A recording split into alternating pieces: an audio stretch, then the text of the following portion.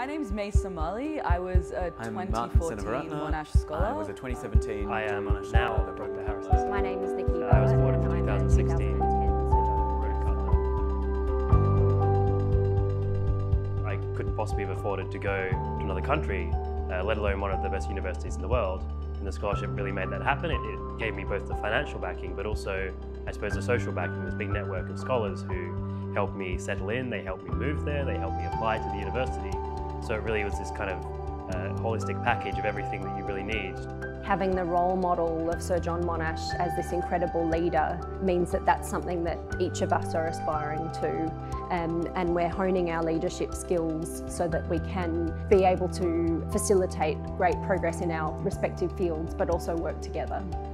They obviously represent the brightest uh, and the most um, connected uh, future leaders that we've ever had.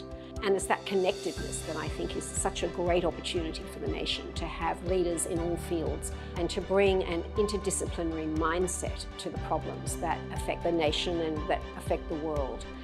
It's changed my life receiving the scholarship. Got an opportunity to move into a different space of healthcare, which is artificial intelligence in healthcare, that has now taken me on a journey as a, a researcher in how to kind of develop AI for healthcare. The Monash Foundation has allowed me to pursue a PhD in circumstances where it would be simply impossible. Pursuing or deciding to pursue a PhD in your 30s, when you're leaving the workforce, you're thinking about having a family. I think for a woman, if there isn't really strong financial support, it's just simply not an option. The Monash Foundation and the scholarship program gives me that opportunity to say uh, to younger, enthusiastic, intelligent, capable individuals, you're there, get on with change. I'm right behind you, and this is the best investment I can make. It's really instilled in me this uh, responsibility of what it means to be Australian and what it means to have access to education. And uh, I know that had I been kind of born in another context, um, in Iran, where my parents are from, I wouldn't actually get access to higher education. Given the immense backing we have from the Australian community, I think there is a real obligation for us to return at the end of our scholarships um, and actually come up with some tangible, workable solutions. It not only gives us access to amazing educational opportunities abroad, the best institutions, but really then instills within us this idea of giving back. From my humble perspective, I can see them having an impact. I come across Monash scholars regularly.